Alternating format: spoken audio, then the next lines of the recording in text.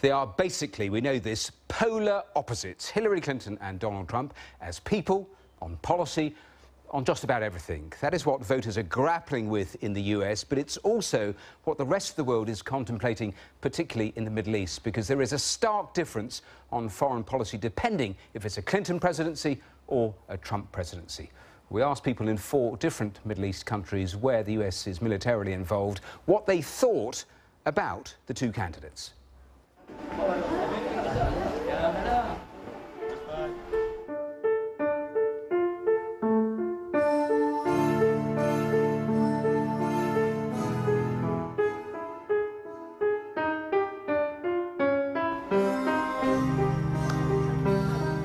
أمل مثلا بخط واحد إنه نحن بنشوف ترامب ممكن عنده آه، استعداد للحوار مع الروسي وما في بنعرف إنه الحرب ما حتخلص ليتفقوا روسيا وأمريكا.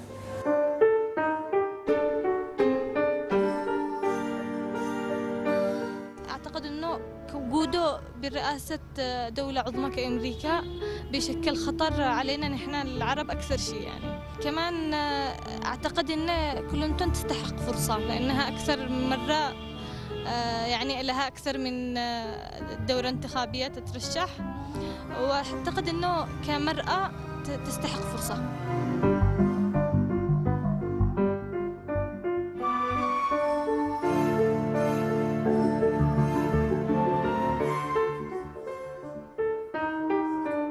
والارجح يعني إن تكون هيلاري كلينتون، هيلاري كلينتون بحكم ان هي مخضرمة سياسية يعني بحكم الخبرة و... و... والأرجح إن هي تكون كلينتون.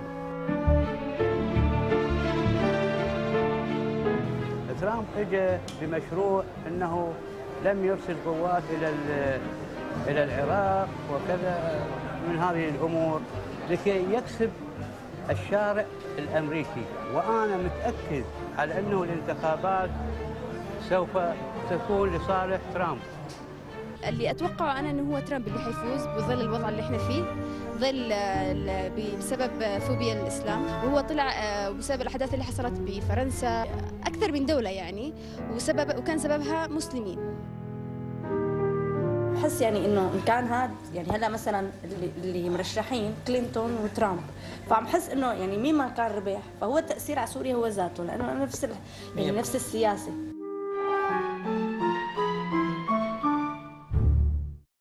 Well, fascinating just listening to those views. With me here in the studio is Maha Yahaha, who's director of the Carnegie Middle East Centre. Assistant Professor of International Relations at Kadir Has University, Akin Unver, is in our Istanbul studio. And we're also joined from Washington by Joshua Meservey, who's a policy analyst for Africa and the Middle East at the conservative think tank Heritage Foundation. Welcome, all of you, here to the programme. Joshua, let me start uh, with you, and in fact, ask the same question of all three of you. As you sit in the various places around the globe, I mean, how different in terms of direction do you think a Trump presidency compared to a Clinton presidency is likely to be? Well, I'll start this off by caveating my comments that it's difficult to know just because what is said in a campaign doesn't always translate into what actually happens in practice once once a politician takes office.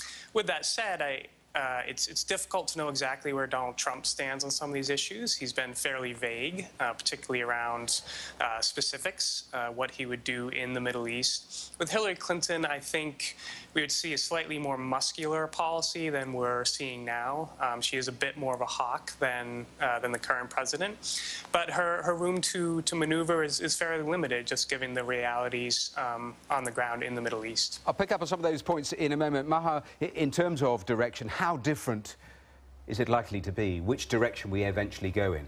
fundamentally different. I mean, Donald Trump is more of an isolationist. He's America first. He does not want to engage. He's made it clear and has very little interest. Whereas Hillary is more of a globalist. She's interested in the rest of the world. We're likely to see her take a far more active interest in what can be done in the region. This, though, I agree with Joshua, this does not mean it's going to translate into a more interventionist policy in the way that some people in the region would like to see. Uh, the view from Istanbul in terms of uh, direction and, and how they view the two candidates.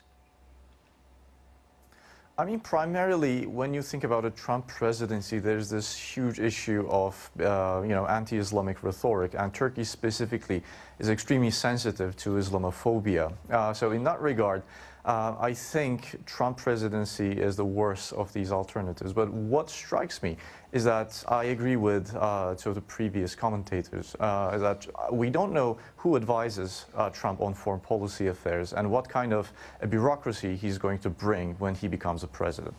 Uh, Joshua, you were talking about uh, how we're still slightly unclear in terms of some of the just the key policies, foreign policies. When you look at Syria, we know Donald Trump has said he has a plan for ISIS, but he hasn't actually articulated what that plan is. I, I mean, would you expect him to be more interventionist when it regards IS than, say, Hillary Clinton? No, I don't think so. Um, I agree with, with one of the previous comments that uh, he does have a more isolationist approach to the world. Uh, he's, he hasn't used that word specifically, perhaps, but if you read his comments closely, if you listen, that is very much the tone. Um, and he's criticized uh, interventionist policies, both Republican and Democrat interventionist policies. So, uh, as per his plan for ISIS in Syria, uh, he says that's a secret plan. He doesn't want to reveal the details of that. So, I guess we would have to wait and see um, what that would look like if indeed he becomes president. And Maha, if it was Hillary Clinton when it comes to, to Syria, is, is it a, a continuation of the existing policy? Is it a ramping up of the policy? Where do you think it's likely to go? I think she's more likely to try, try and take a more active role. This will not necessarily translate into a military intervention, as I said before, in the way people would like to see. But what she may try and do, for example, is embrace the uh, many of the Gulf countries who today feel uh, that they've been isolated, they've been sidelined. So broaden the coalition. Broaden the coalition and perhaps create a more uh, a coherent approach to arming the rebels, arming the opposition, uh, working with the Syrian opposition uh, moving forward. And, and of course, tangled up in all of this is Russia. And of course, that is emerging as a greater and greater threat. I mean, it, with that particular relationship, the Putin relationship, is that likely to be a very big gulf between the two? Uh, much more accommodating if you're Trump, much more confrontational if you're Clinton? Absolutely. I think if it's the Trump presidency, he's likely to tac- I mean, he's expressed his admiration for Putin. He's likely to, ta- to tacitly uh, support and uh, obviously support uh, Putin's policies, hand over to him, whereas Hillary will not at, at all. Uh, the other thing I think that is important to mention when it comes to Trump presidency is his populist rhetoric is likely to also embolden uh, dictators like Bashar al-Assad and others. I mean, it's really an extension of a lease of life on people like that. Before I pick up on, on some of those themes, uh, let me just uh, play some of the latest comments when it comes to uh, Russia and that whole relationship with Vladimir Putin. Let's just hear a little of what the two candidates have been saying. I don't know Putin. He said nice things about me. If we got along well, that would be good. Well, that's because he'd rather have a puppet as president of no the United puppet, States. No puppet. And it's clear. It's pretty clear you won't admit no, that the, the Russians have engaged in cyber attacks against the United States of America.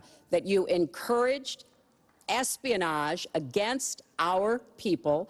That you are willing to spout the Putin line it's interesting, a little snapshot there of the Gulf that we were talking about. Uh, Akin, back in Istanbul, it is interesting when you listen to Donald Trump when he talks of foreign policy, because for European countries, for uh, Asian countries, he's said again and again, actually, you can't take for granted just coming under the American umbrella. You're going to have to actually pay your way and make it worthwhile for the US. Does that make people in Turkey nervous? Um, not quite, actually, because, um, I mean, so far, leading from behind strategy of the current administration has led to Turkey uh, already distancing itself from the United States a little bit and actually going into a little bit of uh, Russian orbit, especially after the failed coup attempt of July 15th. Uh, the next administration is actually going to have to win Turkey back in that regard. It's going to be a hard bargain, but uh, it's going to be a better bargain both for Turkey and the United States. But so far, uh, Turkey actually, up, up until uh, a move is made from the United States, seems to be within the Russian orbit. Uh, Joshua, let me bring you back in because uh, it was interesting. Uh, Maha was talking about that whole notion of strength because Donald Trump has made a lot about uh, just the weakness in his view of American foreign policy. I, I mean, are we likely to see a far less nuanced foreign policy if we get Donald Trump as compared to, to Hillary Clinton? Uh, it, it's tough to say because his comments can be very confusing because he does talk about strength a lot. Um, that's uh, one of his major talking points really is that he will bring this strength and this vigor uh, to issues like foreign policy. But then he, as we've discussed earlier in the program, he is also a bit of an isolationist. I don't think he's a true isolationist, but he does very much have this um, idea that the United States has overextended itself, that has become too engaged in certain conflicts, uh, somewhat similar to the president, actually, um, in, in, that regard.